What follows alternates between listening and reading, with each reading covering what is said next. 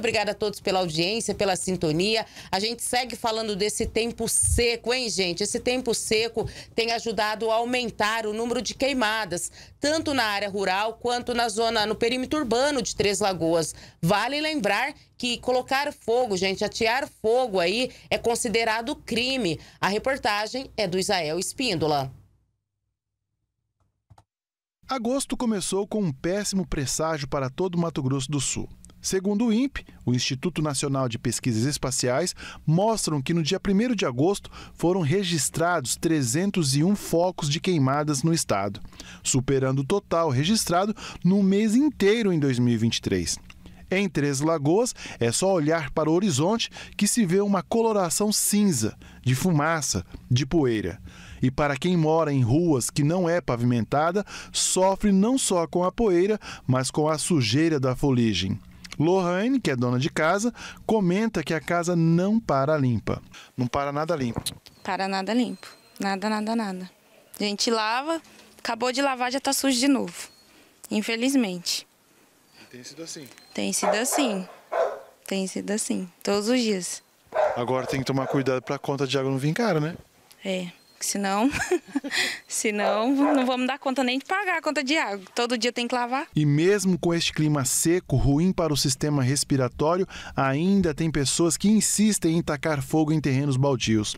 E este clima está sendo agravado por uma seca histórica impactada pelas mudanças climáticas, que contribui para um cenário de estiagem. Com a umidade relativa do ar baixo, a pastagem e o mato seca rapidamente e com isso fica mais fácil de pegar fogo, o que causa problemas não só para o meio ambiente, mas como os problemas respiratórios. O Severino Batista de Lima está em tratamento e está sendo difícil para dormir com a poeira e o cheiro da fumaça. E a poeira me ataca e eu não posso, eu tenho, como é que fala, bronquite. E esse dia me deu pela, pela mania. Aí agora que eu dei uma melhorada, atacou de novo. Então é assim, por causa dessa poeira que entra dentro de casa aí. Cheiro de fumaça, né? Então, olha o lixo. O lixo vem da rua, parece que vai de propósito, entra tudo lá para dentro. A previsão do tempo indica que entre os dias 1 e 7 de agosto, o tempo segue firme com sol e poucas nuvens e altas temperaturas, inclusive acima da média, podendo atingir 35 graus aqui em Três Lagoas. E a previsão não é nada animadora.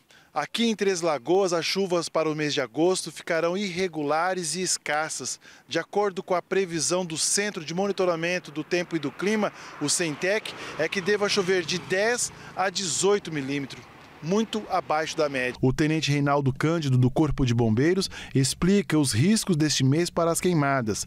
Agosto é o auge do período da estiagem, com a falta de chuva significativa há meses, e os ventos fortes intensificam os focos de incêndios, como explica o militar do Corpo de Bombeiros.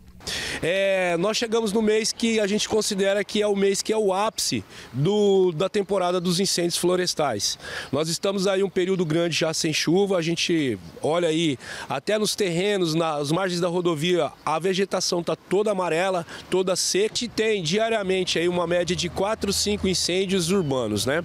É, esses incêndios aí são nos terrenos baldios, que as pessoas acham que tem que limpar o seu terreno tacando fogo, né?